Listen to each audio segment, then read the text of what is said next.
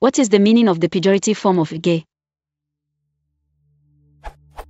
Dictionaries don't define the pejorative use of gay, but the term is used in common parlance. For example, that's so gay. Or, you're gay. Is there a way of establishing what gay means when used pejoratively?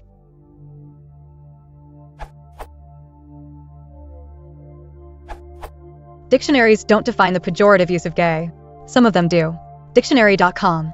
Gay, awkward, stupid, or bad, lame. This game is really gay. Oxford Dictionaries. Gay, foolish, stupid, or unimpressive. He thinks the obsession with celebrity is totally gay. Wiktionary. Gay, English, used to express dislike. Lame, uncool, stupid. This game is gay. Let's play a different one. Equals I dislike this game. Let's play a different one.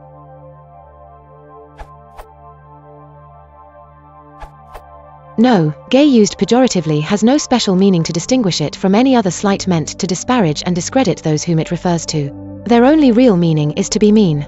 It's just like calling something lame, which is casually insensitive to people who cannot walk or run easily. In this way, this is just like any other slur based on race or national origin or religion or sex or disability physical or mental, or on anything else that the execrable dregs of humanity use against their fellow man. I will not besmirch this site by enumerating a list of spiteful examples of these, but I'm sure countless many of the same bilious character come readily to mind once you try to think of some. Such insults are nothing but base stigmatizations, rank put-downs, if you would, committed by xenophobic churls and others of equally low breeding, empathy, intellect, courtesy, and judgment. Whether done in casual passing or as an active affront, every single one of these slurs is verbal violence but thinly veiled and summarily vile. They can be used as hate speech, and often are, their intent is to dehumanize and sometimes even demonize those whom such speakers perceive to be different from themselves, and by extension inherently inferior from them. That is their meaning.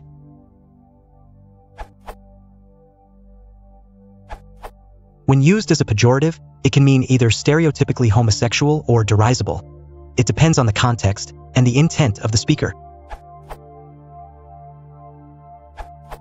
Anecdotally, growing up in the 1980s and 90s, in England and then the US, I perceived gay as an insult growing in popularity directly alongside the widening awareness of the concept of gay as an identity.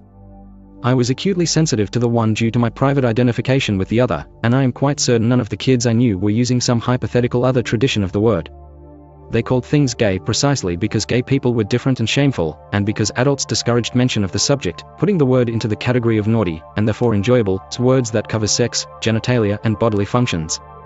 Using the word in this way reinforced the negative connotations attached to gay people, and continues to do so even as diverse sexual identities become gradually more accepted. Looking for separate explanations of the derogatory and descriptive senses of the word is misdirected, the referent is the same, it's just that the derogatory uses are attempts to hang disapproving connotations upon it. Update, a here's a snapshot of the evolving popular meaning of gay in 1986.